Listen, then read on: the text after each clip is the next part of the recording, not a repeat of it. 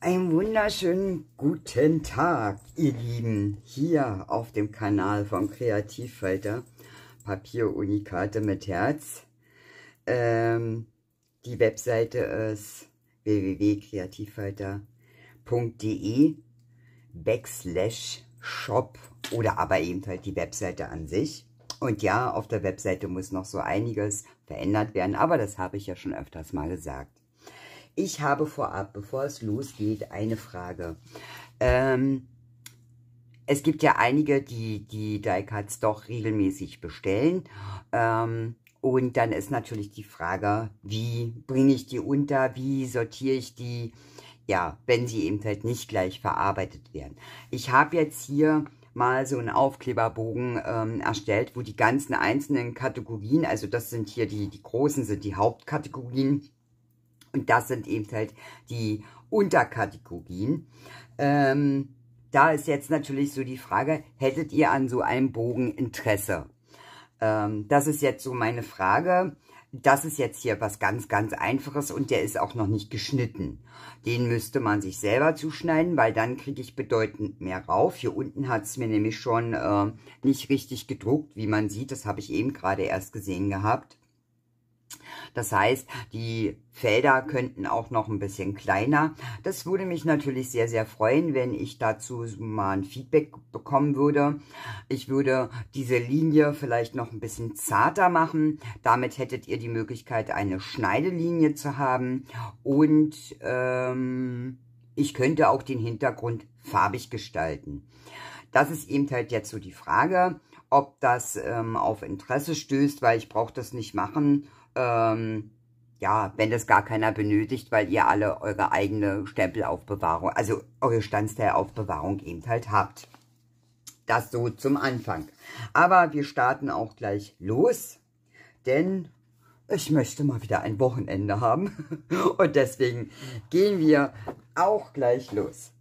Hier kommen wir zu den Kobaltmädchen.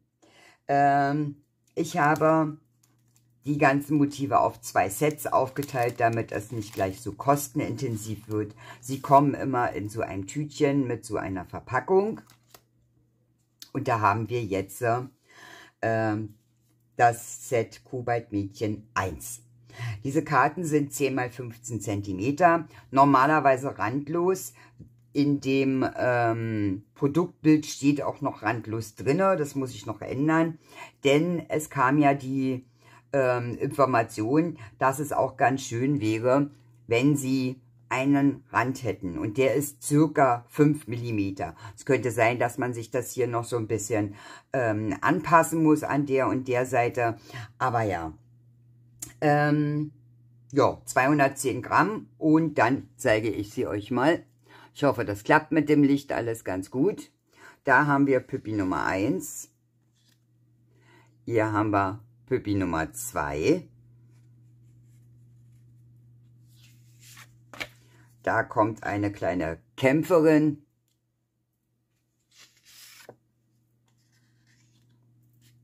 Das ist die Püppi Nummer 4. Da haben wir Nummer 5. Die sehen so Zucker aus. Also ich liebe sie und damit wird es auch demnächst ein Projekt geben. Und da haben wir Nummer. Ach, keine Ahnung, welche Nummer. Ich habe schon nicht mehr mitgezählt. da kommt die nächste. Es sind wirklich alles unterschiedliche Motive, auch wenn sie alle in einem Farbschema letztendlich irgendwo gehalten sind. Und da haben wir dann Nummer 8. Ja, ich hoffe, euch gefallen sie. Das ist das Set 1. Ich weiß gar nicht, nee, das andere Set hatte ich auch schon mit Rand gedruckt. So, das kommt zur Seite und das kommt hier hin. Und dann kommen wir zu Kobaltmädchen Nummer 2. Da haben wir diese kleine zauberhafte Maus. Dann diese Süße. Diese. Dann kommt sie hier.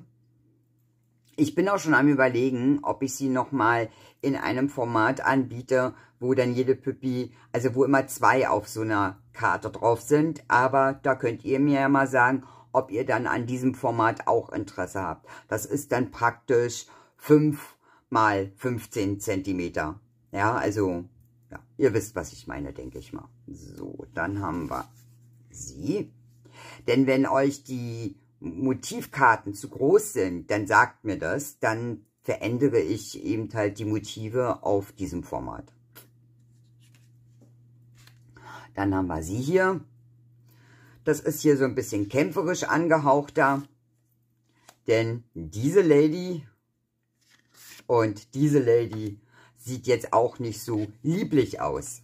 Also ich habe praktisch bei dem Set, zwar sind ja auch liebliche Püppis mit drin, aber dieses Set ist dann doch ein bisschen mehr so ein bisschen kämpferisch angehaucht, schon alleine durch die beiden, also sie hier und sie hier.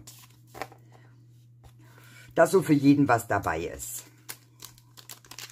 So, das ist Kuwait Mädchen 2. Achso, halt hier hin. So, das muss ich mir aber auch gleich wieder drauflegen, weil hier steht es nicht mit drauf, weil sonst, ähm, wenn, wenn ich jetzt jedes Mal hier auch noch den Produktnamen mit draufschreiben würde, das wäre ein immenser Aufwand für mich, weil ich mache das wirklich alles selber, ja. Also ich habe da keine Druckerei oder so, das kommt alles aus meiner Werkstatt.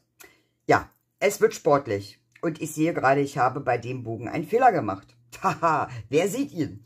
Wahrscheinlich keiner. Ich muss den nochmal bearbeiten, denn er ist gespiegelt und äh, ja, man kann nicht lesen, was hier drauf steht, weil es spiegelverkehrt ist. Wie gut, dass ich das jetzt sehe, während des Videos. Das ist ja mal wieder echt Bingo. Aber ja, es ist ja super, dass es mir aufgefallen ist. Ähm, das wird nach dem Video natürlich dann gleich korrigiert. Also wenn ihr reingehen solltet in den Shop, dann ist es auch schon richtig rum. Aber das ändert ja nichts an diesem schönen Design. Es ist ein Einzelbogen. Denn, ja, mit so einem Einzelbogen kann man ja nicht allzu viel anfangen. Dieser Bogen ist auf äh, 210 Grammatur gedruckt und ja, im Querformat. Allerdings muss ich ihn nochmal spiegeln, wie gesagt. Denn ja, man kann ja mit so einem Bogen jetzt nicht so viel anfangen. Also habe ich mir das hier ausgedacht. Baseball 1. Ja, manchmal ist es gar nicht so einfach, irgendwelche Titel dafür zu kriegen. Bei dem anderen, äh, der Designerbogen heißt äh, Baseball-Zeit. Und das heißt jetzt hier einfach mal nur Baseball. Ähm, wir haben hier auf dem Bogen 31 Standsteile. Ähm, es wurde Ihnen nur in Creme angeboten. Das Designpapier biete ich in zwei Varianten eben halt an. Ach nee, auch nur momentan nur in weiß, oder? Kann ich das auch in Creme anbieten? Ich glaube ja, ich muss nochmal nachgucken. Ähm, aber Faktum ist, dieses äh, Standzeit wird es nur in Creme geben, denn ähm, da sieht es eben halt einfach am besten aus, weil diese Farbnuancen eben halt sehr ins ja in diese braun Variante eben halt reingeht und in weiß es einfach, das, es passte einfach nicht. Die Standsteile selber sind zwischen ähm, 8,4 und 1,6 Zentimeter hoch. Ich habe auch diesmal wieder Schriftzüge erstellt. Bei den beiden Schriftzügen muss ich nochmal nacharbeiten oder habe ich schon nachgearbeitet, aber die äh, Bilder sind noch nicht da. Hier muss ich noch Zwischenräume entfernen, weil der Plotter das eben halt einfach nicht vernünftig ausschneidet, falls ihr das jetzt hier sehen solltet. Ja, dass das so ein bisschen krumpelig ist. Dieses Set habe ich nämlich auch bis jetzt erst einmal geschnitten, von da habe ich noch keine, kein anderes. Aber ich denke mal, das sollte kein Problem sein. Die Leute, die schon bestellt haben, wofür ich mich ganz, ganz herzlich bedanken möchte, die kennen die Qualität ähm, dieser kleinen süßen Scheißerchen. Ja, ich habe die Zwischenräume dann mit Bällen aufgefüllt. Diese Bälle sind nicht alle identisch, es sind unterschiedliche. Auch diese Schlagstöcke sind ähm, vier Stück an der Zahl. Es ist jedes Mal ein anderer Schlagstock. Ich kenne mich mit Baseball null aus, denn ich weiß zum Beispiel auch nicht, was das für ein Teil im Baseballbereich ist. Aber ich denke mal, die, die sich dafür interessieren, die können damit was anfangen. Sekunde. Ja, da musste ich mich mal ganz kurz räuspern. Faktum ist, ich hoffe, ähm, ihr habt Spaß daran und findet das genauso toll. Die Schriftzüge haben wieder den Blauton und Rotton aus diesen Standsteilen. Ich habe mich da an diesen beiden orientiert, damit das eben halt harmonisch passt. Denn diese erstelle ich immer selber. Ja, gibt es noch irgendwas dazu zu sagen? Nö, 300er Kammatur und sportfrei, würde ich sagen. Ja, es gab doch den kleinen Wunsch. Es gibt gar keine Hamster und man findet nichts von Hamstern. Und dann habe ich mir gedacht, okay, dann setzt du dich mal ran und guckst mal, was zu machen ist. Und da haben wir hier den kleinen Hamster Rolli. Ist der nicht zuckersüß? Ich komme mal ein bisschen näher damit ihr das vielleicht ein bisschen besser sehen könnt. Ja, bei uns ist es verdammt dunkel und ich habe immer noch keine andere Lichtquelle. Ich, ich kann es leider nicht ändern. Es ist, wie es ist. Es wird alles besser, glaubt mir. So, hier haben wir den Bogen Nummer 1. Auch wieder auf 210 Gramm, allerdings nur in weiß, weil da sieht es eben halt am besten aus. Dann haben wir Hamster Rolli, wo er auf dem Mond ja, ein kleines Nickerchen hält. Und dann haben wir Hamster Rolli einfach nur mit Köpfen. Dann, ja, er wollte sich mal als Mädchen verkleiden und hat sich eine Blume ins Haar gesteckt. Denn Rolli ist ja eigentlich mehr so ein Jungsname oder so. Naja, egal. Ich habe jetzt keinen auf die Schnelle gefunden, der für beides passt. Dann hier in einem schönen, frühlingshaften Design und dann nochmal mit Streifenhintergrund. Ja, und ich möchte natürlich ja auch wieder mal ein bisschen mehr kreativ sein, also habe ich auch mal was gezaubert. Eine kleine Karte und ich finde die total knuffig. Und ja, ich wollte die euch unbedingt zeigen. Ja, jetzt ist natürlich die Frage, was macht das da drauf? Das ist ja nicht aus den Bögen. Nee, ganz klar, weil Papier alleine reicht ja nicht. Also wenn ich was mache, mache ich es richtig und deswegen kriegt ihr auch diese Standsteile. Die sind jetzt hier auf Creme gedruckt. Ich würde sie in beiden Varianten anbieten. Vielleicht biete ich auch das Designpapier noch in Creme an. Ich muss das mal ausprobieren, wie das aussieht. Ich denke mal, das könnte gehen. Natürlich sollte dann eben halt einfach mal klar sein, dass alles das, was hier weiß ist, ist dann natürlich cremefarben. Ja, also das muss jedem bewusst sein. Klar, auch das habe ich schon das ein oder andere Mal gesagt, aber nicht jeder schaltet ja heute, also schaltet vielleicht heute das erste Mal ein und dann ist natürlich die Information sehr wichtig.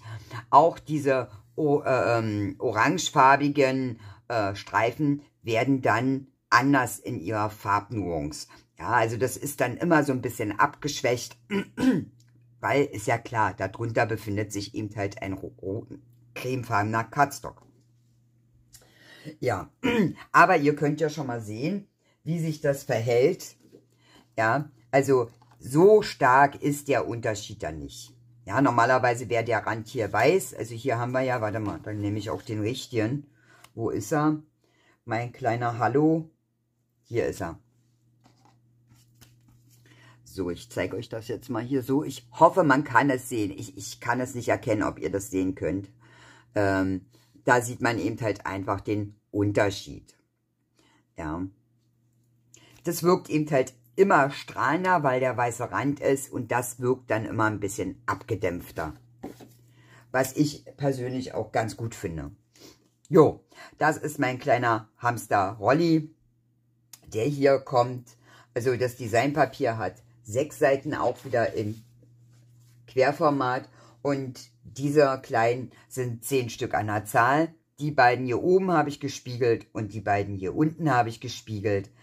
Alle anderen sind einmal vertreten, so dass man hier einen, der nach rechts, äh, also nach rechts guckt und einer, der nach links guckt und die anderen sind ja sowieso von vorne. Da macht das nicht so viel Sinn, die zu spiegeln. Ja, Ich komme noch mal ein bisschen näher, damit ihr sie besser sehen könnt. So, das sollte, denke ich mal, reichen. Und dann wird's crazy. Ich bin so gespannt, was ihr gleich sagen werdet. Ob ihr die genauso cool findet wie ich. Ich muss hier bloß meine Ordnung beibehalten. Da sind die rasenden Saurier. ich fand die so cool. Äh, wie gesagt, ich fand die so mega Hammer. Und ich habe wirklich ganz lange nach einem Spruch gesucht, den ich eben halt dann noch mit reinsetzen kann, weil für einen Stanzteil hat es nicht mehr gereicht, der Platz, aber für einen Spruch. Und da habe ich dann einfach genommen, nimm es gleich, die ersten 100 Jahre sind die schwersten. Das war das, was zu Dinosaurier für mich jetzt so am besten irgendwie passte weil ähm, sie sind einmal unter Fantasy Dinos drin, aber sie sind auch unter Festlichkeiten Geburtstag drinne, weil da passen sie einfach mal richtig genial rein, finde ich jedenfalls. So, und ich habe hier wirklich ähm, darauf geachtet, dass es einmal eben halt für die Kartenbastler ist und auch eben halt für die ATC-Bastler, dass das hier wirklich gut draufpasst. Ja, so und eben halt auch im Hochformat ja, im Hochformat könnte man sogar glatt den auch hier raufsetzen. Gespiegelt habe ich hier in diesem Falle nicht wirklich. Sie fahren alle nach rechts rüber.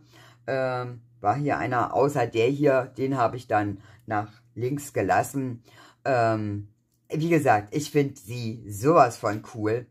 Ich wäre sehr, sehr froh, wenn ihr mir dazu mal ein bisschen Feedback geben könntet weil es ja doch mal was ganz anderes irgendwo ist. Es sind 14 Stück und das höchste, äh, also das größte von der Höhe her ist 6,8, das ist der hier unten. Und mit 4,3 haben wir Ihmchen hier. Ach, ich sehe gerade, hier ist ein Stanzteil nicht rausgegangen. Also ein Stanzelement. Und das werde ich jetzt mal hier schön rausnehmen. Das geht auch ganz einfach. Jo, wie gesagt, ich hoffe, sie gefallen euch genauso gut wie mir. Da wird es auch noch einiges geben zu. Denn nächste Woche, Samstag, gibt es kein Shop-Update. Es wird ähm, auch keine neuen Produkte äh, an diesem Samstag eben halt geben. Erst wieder zur dritten Woche. Ich brauche einfach mal ein bisschen Luft. Ich habe gestern in den Spiegel geguckt und dachte, ups, wer guckt dich denn da an?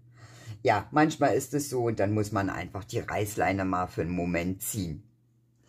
So, und dann haben wir die magischen Federn.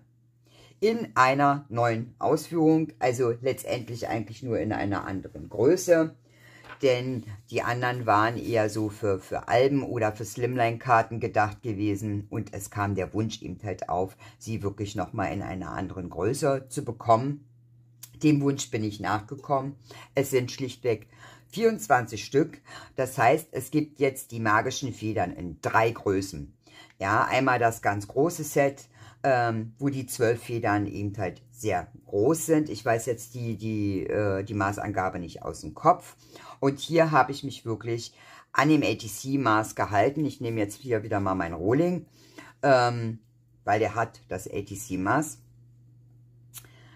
Faktum ist, sie passen entweder wirklich im Hochformat drauf, so dass man sie hochkant nehmen kann, oder sie passen immer im Querformat drauf. Ja, also es ist sowohl ein Kartenset wie auch eben halt wirklich ein ATC-Set. Also da ist wirklich ein großer Spielraum und ja, was soll ich groß sagen? Es wird sie im Rauweiß geben und es wird sie in Creme geben. Und sie sind 7,7 cm hoch, das höchste. Und das kleinste ist 5,1. Hier habe ich vergessen, die K- und G-Größe anzugeben. Das werde ich aber im Produktbild noch nachholen. Das ist mir leider untergegangen. Bei den Sauriers ist es auf jeden Fall schon und ich glaube beim Baseball-Set auch. das werde ich nochmal überprüfen, ähm, damit das dann jetzt in Zukunft immer mit dran ist, dass ihr wirklich immer seht, was ist das Größte, was ist das Kleinste.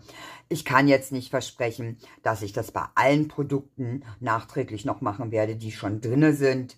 Vielleicht immer mal wieder, aber wer eben halt doch ab und zu mal auf der Webseite oder in dem Shop drinne ist, sieht, dass noch ganz viele ähm, ja, Kategoriebilder eben halt fehlen, weil ich kann das nicht ausstellen. Mir wäre es natürlich lieber, ich könnte nur ein Bild machen oder eben halt nur diesen ähm, Shift-Button von der Kategorie, aber das geht leider nicht. Ich muss beides bedienen und da muss ich mir natürlich irgendwas einfallen lassen und ähm, das kostet natürlich auch eine Menge Zeit.